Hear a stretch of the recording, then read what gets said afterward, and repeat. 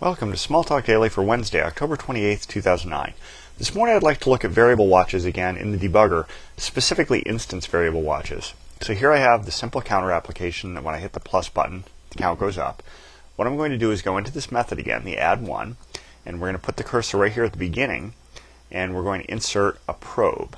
And for the probe, we're going to pick a variable watch and hit insert. At this point, we get this little window, and I want to pick instance variables. Now, it's going to give me a list of all the instance variables that are possible. Now, you might wonder, why do I have all these? The only one I know about in this class is count. Well, it turns out that I'm inherited from object and model, and in model, I have a whole bunch of things that I've inherited. So I'm going to just pick count here and hit OK. And then now I have my probe right there.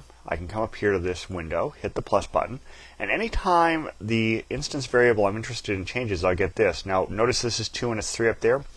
That's because the probe is the beginning of the method before it changed, not at the end of the method after it changed. So you're going to see a kind of trail behind the UI. But you'll notice that what's happening is I'm getting a reading at the beginning of the method as I enter what the value was before it enters, and then up here I can see what it was after it finished. So if there was something odd happening, like, I don't know, this was displaying plus 3 or 4 or 5 or something, I could see, well, here's what it was when it came in, here's what it is when it came out. So it's a way of having a persistent way of looking at a variable without actually having a break happen. So if you're just interested in tracking something, this is how you would do it. So that's about it for today. Until next time, have fun with Smalltalk.